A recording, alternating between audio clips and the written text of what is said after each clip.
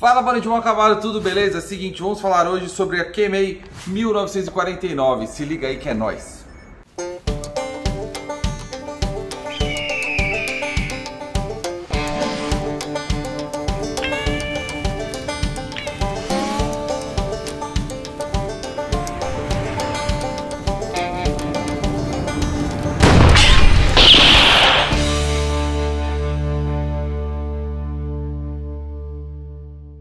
Bom, como vocês sabem, a Kemei tem dominado o mercado das máquinas aqui no Brasil.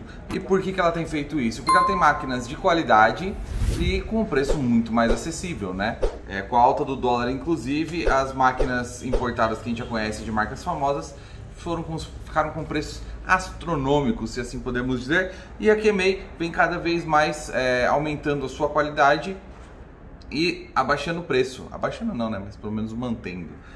É, eu vou falar sobre essa máquina aqui hoje, que é a Kemei 1949. É uma máquina que me impressionou ao pegar na mão. Vamos ver como é que ela é trabalhando. Então, vou abrir aqui para vocês, vamos ver na caixinha. Inclusive até as caixinhas da Kemei melhoraram, viu? A arte, a arte gráfica deles está bem mais bonita, ó. Tá bem mais profissional. O logo deles eu acho bem feio, mas tudo bem. Você tirou da primeira parte, vem uma outra caixinha aqui, que lembra as caixinhas inclusive da Apple, só aquela caixinha branca tal, bem robusto e tal. E isso eu acho legal para proteger a maquininha, né? Abrindo a caixa, temos um manual de instruções em English. Eu ver se tem outra língua aqui. Não, só tem em inglês mesmo. Mas tá bom, né? Todo mundo aí acho que vai entender um pouquinho para fazer esse rolê. E ela vem aqui assim, ó. E quando eu peguei essa máquina, cara, o que eu mais impressionei com ela foi o acabamento e a robustez do, do produto. O material, ele lembra muito a Wall 1919, aquela toda prateada também que foi edição de aniversário. Inclusive a Kemei aqui claramente copia todo esse rolê, né? Se você ler aqui, ó, aniversário, blá blá blá, 70 anos, enfim. É, então se você olhar, se você tem uma 1919, 1919 eu não tomei café ainda, tô enrolando a língua, tá tudo bem, você tá entendendo. É, se você tem uma. Já pegou na mão uma. uma Wall 1919. Deixa eu pegar a minha aqui pra vocês verem. Ó, essa daqui é a Wall 1919, tá? Se você colocar a Gemei uh, do lado dela aqui, ó, é muito parecido, cara. Inclusive atrás, ó, o material todo. E cara, por incrível que pareça, é de extrema e alta qualidade essa material dela. É, ela tem uma luzinha aqui indicadora, ligada, desligada tal. A lâmina dela é a T-Blade, que a gente já está acostumado aí com as com as máquinas da as Detailer, né? Vamos agora às especificações. Estou vendo aqui junto com vocês, porque eu realmente ainda não testei essa máquina. vou testar aqui junto com vocês para não não ter nenhuma dúvida. Bom, ela é bivolt, Olha só, eu não... Ah, aqui, peraí, velho, aqui dentro ó, tem todos, todos os aparatos que eu não tinha visto o carregador. Então ela vem com um olhinho aqui, ó. Vem com o pente provavelmente meio, um e um e meio, vamos dar uma olhada. É isso mesmo. Tá aqui vem com os três pentes. Vem com um protetor de lâmina, caso você for carregar por aí, você coloca aqui, ó levar na sua mochila e não ter perigo de quebrar a lâmina. O olhinho que eu já falei, lubrificante. A tradicional escovinha de limpeza e o cabinho carregador. O cabinho ele é USB-C e USB normal, então você pode carregar em qualquer lugar, ela é bivolt. Que legal, hein? Curti já. É, vamos lá, ela tem 3,2 volts, 1400 miliamperes não é uma máquina pra, de longa duração de bateria com ela ligada, mas uma máquina de detalhe nem precisa disso, né, galera? A máquina de detalhe você vai fazer exatamente detalhes com ela. Você não vai ficar ali cortando o cabelo de cliente. Inclusive, eu já vi gente fazendo isso, isso não é saudável para a lâmina da sua máquina, tá? É, o carregador dela é aqui embaixo, ó, USB-C como eu falei, que já é bem legal isso, né? Que você pode usar outros cabos aí, se você tem um cabo USB-C na sua casa, você pode usar. É, potência de 5 watts, tempo de, tempo de carregar, carregamento 2,5 horas.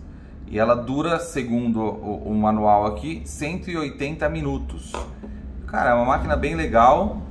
É... Ela é inteira de metal, tá? Inteirinha de metal. É... O que eu posso falar mais pra vocês aqui dela?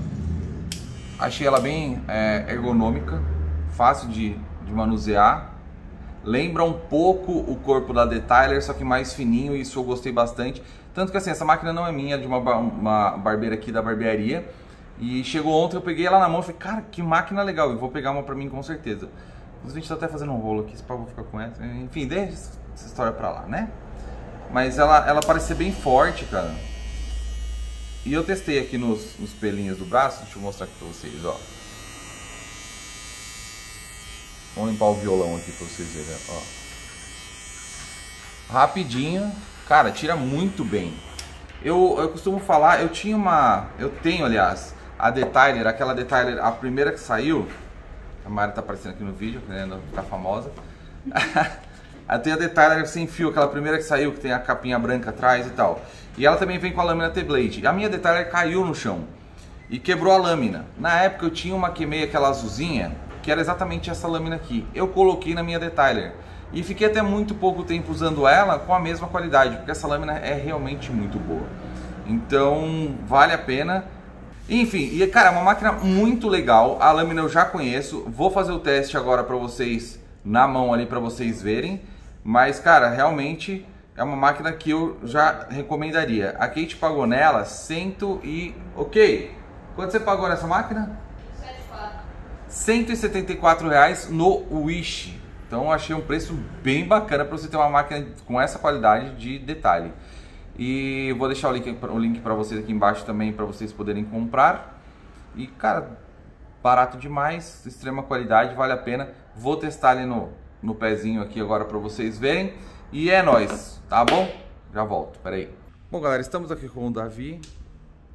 Vou fazer aqui o, o acabamento dele. Caraca. Ó, dá pra ver que ela tira muito bem aqui, ó. Bem legal mesmo. Aqui esse tá sobrando aqui embaixo.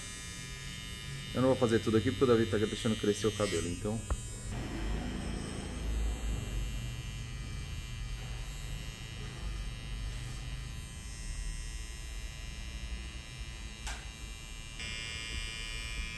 Ó, galera, eu curti muito, viu? Ó, ela limpa muito bem, viu, galera?